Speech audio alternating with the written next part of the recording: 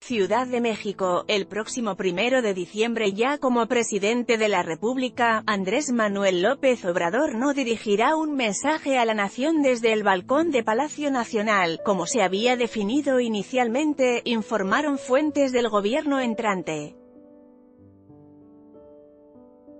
Ahora, se prevé que López Obrador emita el discurso desde el templete que se instalará en el Zócalo, pero tras recibir el bastón de mando de los pueblos indígenas del país.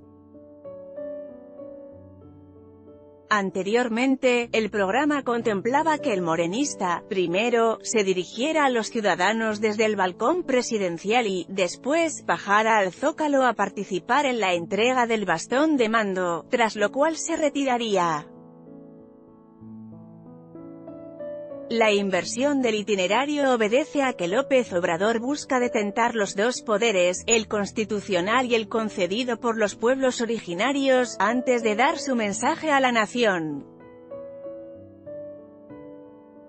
El vocero Jesús Ramírez ha informado que representantes de los 68 pueblos indígenas del país participarán en dicha ceremonia.